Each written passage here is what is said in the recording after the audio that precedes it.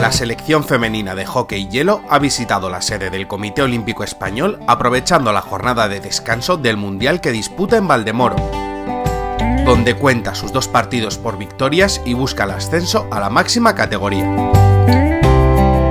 El conjunto español, encabezado por el presidente de la Real Federación Española de Deportes de Hielo, Fran González, y por todo el cuadro técnico, ha sido recibido en la Casa del Deporte Español por el presidente del COE, Alejandro Blanco quien ha querido conocer las sensaciones de nuestro equipo en la cita mundialista.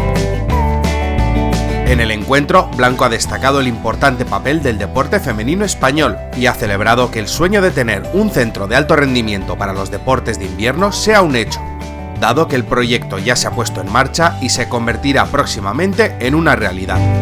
Un gran paso sin duda que impulsará a estas campeonas hacia su objetivo de convertirse en deportistas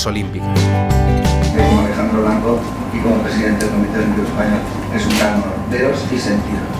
Repito y reitero, suerte, partido a partido y a clasificar. Muchas gracias.